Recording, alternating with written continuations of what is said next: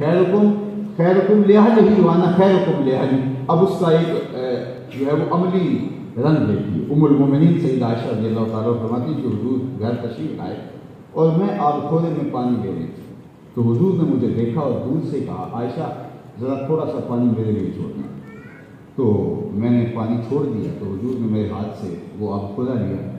तो उसमें से पानी पीने लगे तो फिर प्याला नीचे कर दिया और मुझसे मुखातबत करते हुए फरमाया, आयशा ज़रा बताना, तुमने होंठ कहाँ लगाया मैं वहाँ होंठ करके पानी पीना चाहता हूँ। ये है हुजूर की सीरत का वो रंग। ये मैं कहता हूँ कि आज ही इस पे रूब अमल होकर देखें, घर का नक्शा बदल जाए, घर जन्नत का टुकड़ा बन जाए। बीवी के साथ ये रवैया, बल्कि मेरे हुजूर का जो तरीके हयात है सिर्फ़ बीवी के साथ ये रवैया नहीं है। वहाँ तो एक मोहब्बत और लताफत का रिश्ता भी होता है।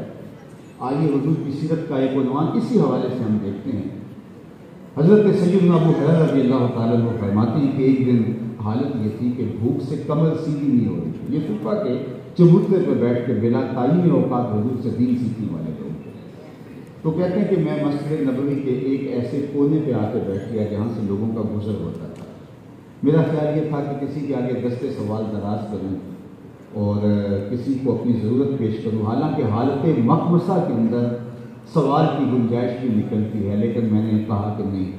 मैं एक जानब बैठ गया और जो भी आता, मैं उससे कोई मसला शरीफ पूछता और मेरा मतलब ये था कि वो इस दौरान मुझसे मुखातब होगा।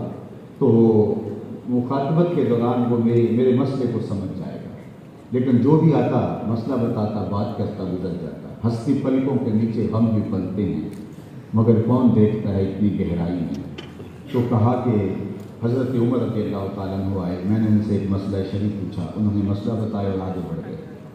फिर हज़रत अबू बकर रज़ी अल्लाह तु आए, उनसे भी मैंने कुरान मजीद की किसी आयत के बारे में सवाल किया। तो उन्होंने भी जवाब दिया और शायद मेरी तरफ़ उनका इल्तफात ना हुआ, जो मेरा मसला था वह गुजर गया।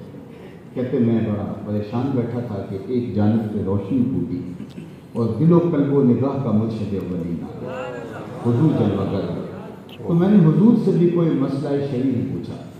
तो आका करीम ने मेरी जानब देखा और फिर मुस्कराए और फरमाया, अबू हजरा भूख लगी हुई है?